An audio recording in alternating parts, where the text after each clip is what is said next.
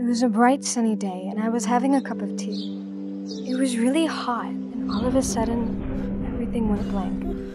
When I gained my senses after a few seconds, I saw that my mom was trying to wake me up, and the entire cup of tea had fallen on my leg, which caused my skin to burn. I had just experienced a phenomenon called partial complex seizure, or PCS. Partial complex seizure is a very common type of epilepsy, characterized by a seizure that takes place in a large part of either cerebral hemispheres. It includes discharge of electrical activity in the brain. There's no loss of consciousness, but the sensorium is altered, because of which the mental status is affected. This differentiates partial complex seizure from another form of epileptic activity, in which patients neither lose their consciousness nor their mental status is affected. Patients can talk, answer questions, and remember what happened during the seizure. This other form is called simple partial seizure. PCS, on the other hand, creates a major disturbance in the hippocampus region of the brain. If it is not treated over time, then the hippocampus becomes hard and starts to shrink.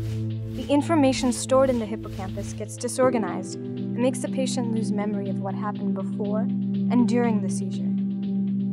When PCS triggers, patients stop what they're doing. They become unaware of their surroundings and the activities taking place around them. They start staring towards one direction and experience extreme emotions.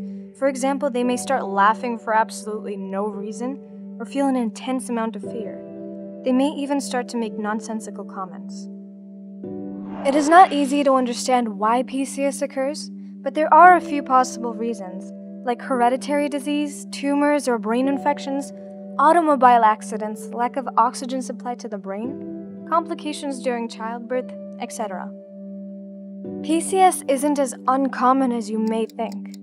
At any given time, 500 to 1,000 people have seizures per 100,000 people. There are likely to be 200,000 to 500,000 new cases in India every year. Currently, there are about 10 million people suffering from seizures in India. 5% of all people will have seizures at some point in life. Most of the cases are detected before the age of 18. Despite these alarming numbers, 95% of patients in India don't receive proper treatment. Not just that, due to the social stigma associated with it, people with seizures are unable to attend school, get a job, or even marry. This causes depression in many cases, which worsens the subsequent seizures. But it isn't all hopeless. You'll be surprised to know that people like Vincent van Gogh, Edgar Allan Poe, Theodore Roosevelt, Prince, Neil Young, and many more have suffered from this disorder. In spite of which, they have conquered all of life's obstacles, reaching greater heights than the norm. Even I am a patient of partial complex seizure, and I've faced a lot of challenges for the last 16 years. My parents and I never gave up. Growing up, I participated in a number of activities like dance, martial arts, and I even won prizes. I guess, ultimately, it's all about how you take the challenges.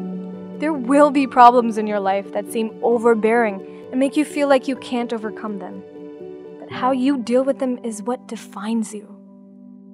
So, how are you defined?